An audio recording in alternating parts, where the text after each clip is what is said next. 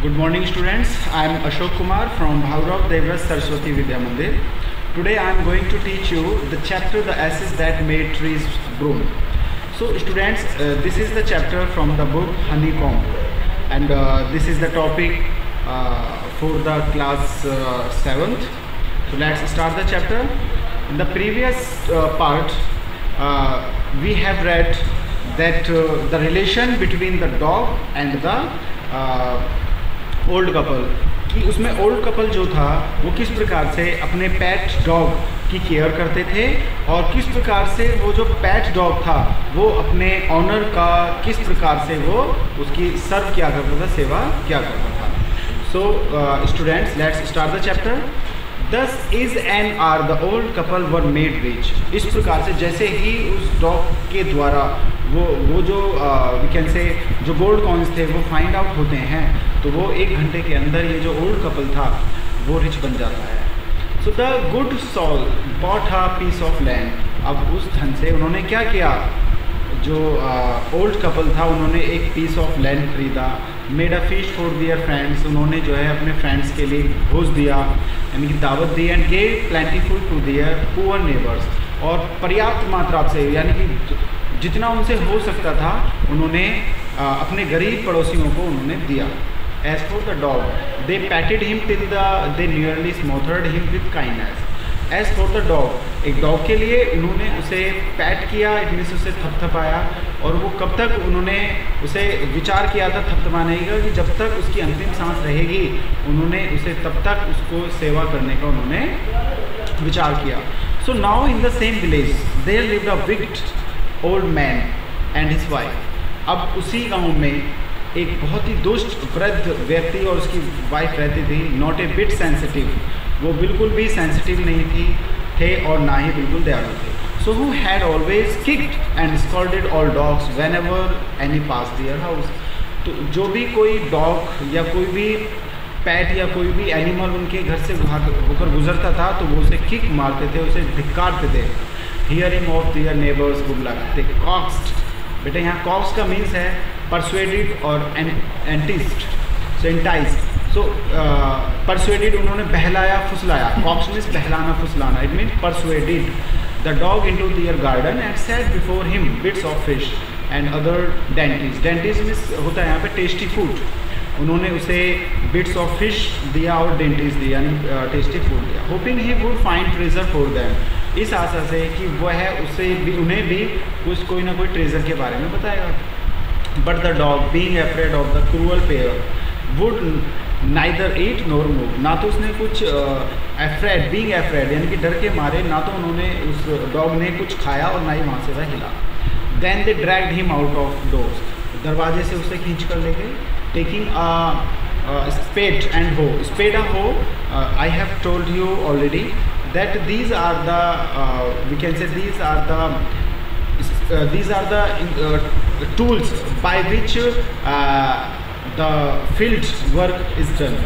So no sooner had the dog got near a pine tree growing in the garden एक एक बगीचा था एक बाग था जिसमें एक पाइन ट्री था वहाँ तक वह पहुँचा था then he began to paw उस एंड स्क्रैच द ग्राउंड उसने अपने पंजे निकाले और उसे स्क्रैच करना शुरू किया उस ज़मीन को. एज इफ़ माइटी ट्रेजर ले गए जैसे कि वहाँ विशाल का एक ट्रेजर जो था वो उसके नीचे था। Quick wife hand me the me the यहाँ पर जो वो वृद्ध व्यक्ति था, उसने कहा कि मुझे स्पेड दो। एंड द ओल्ड क्रॉन यहाँ क्रॉन का मीन्स क्या है? ओल्ड वुमेन वुमेन जो थी उस मैन की वाइफ जो थी विद हो बिगेन टू डिग उन्होंने खोदना शुरू किया। But there was nothing but a dead kitten एक मृत बिल्ली वहाँ थी उसमें the smell of which made them drop their tools and shut their noses इतनी ज़्यादा बैड स्मेल आ रही थी कि उनमें उन्होंने अपने टूल्स को ड्रॉप कर दिया, फेंक दिया और अपनी, उन्हें अपनी नाक को बंद करना पड़ा। फ्यूरियस एट द डॉग उन्हें उस डॉग पर बड़ा गुस्सा आ रहा था। The old man kick and beat him to death उन्होंने उसे तब तक लात मारी, तब तक उसे पीटा जब तक कि उसकी मौत हो। And the old women finish the work by nearly chopping off his head और उन्होंने उस काम को फिनिश किया। जो उनका जो शार्प हो था, जो उसका एक टूल था, उन्होंने उससे उसका सिर काट दिया उस डॉग का। Then they flung him into the hole और तब उसे उस गड्ढे में, उसी गड्ढे में उसे दाब दिया and heap the earth over his carcass और जो उसका जो बॉडी थी डेड बॉडी थी कारकैसिस क्या होता है डेड बॉडी उसे, उन्होंने उसे ढक दिया।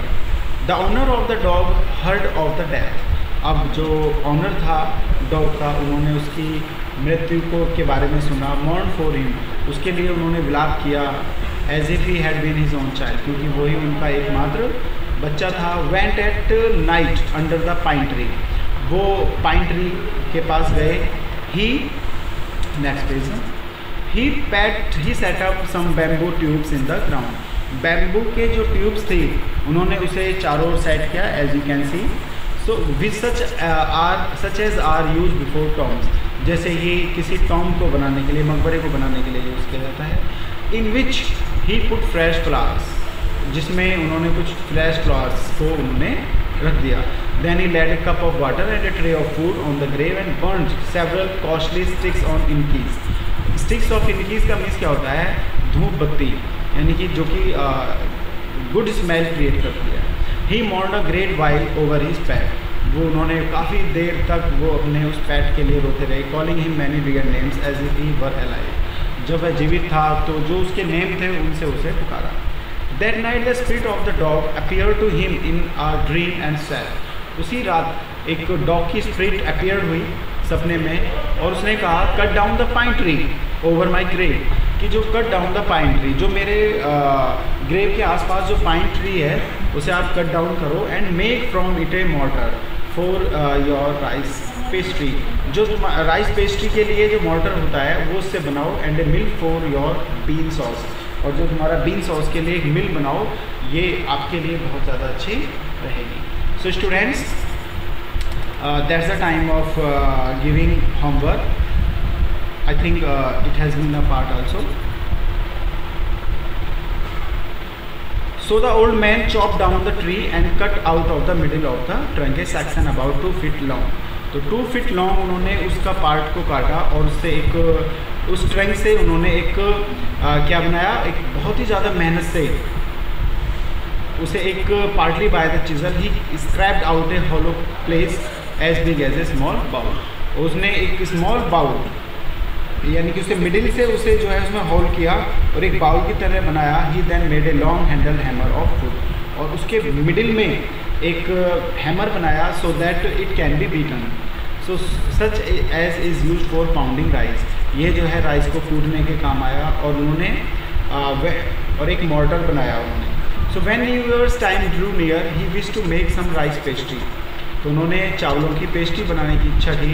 When the rice was all boil जैसे ही राइस उबाले granny put it into the mortar और जैसे ही उन्होंने उसे मोटर में डाला the old man lifted his hammer to pound the mass into dough उन्होंने उस डफ में जैसे ही मास को पाउंड किया, पीटा हैमर के through and the blows fell heavy और and fast the pastry was already for baking और जब उसे उन्होंने ब्लोज किया heavily fast till the pastry was already for baking और जब वो जो बेकिंग के लिए तैयार होगी pastry suddenly the whole mass turn into a heap of gold coins और जैसे ही उसमें से वो निकला तो उसमें से गोल्ड कॉइन्स आने शुरू हो गए.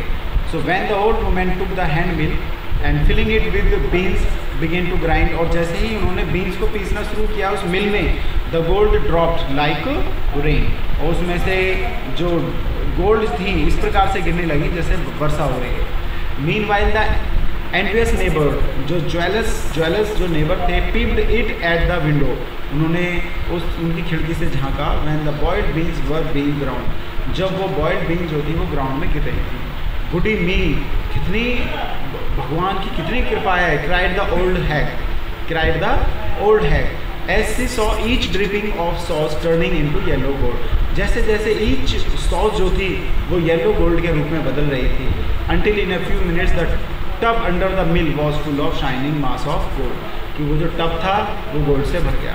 So the old couple were rich again जो ओल्ड कपल था, वो दोबारा से फिर धनी हो गया। The next day the stingy and wicked never came and borrowed the mortar and magic mill वो उस मोटर को मांगने के लिए और मैजिक मिल को मांगने के लिए आए।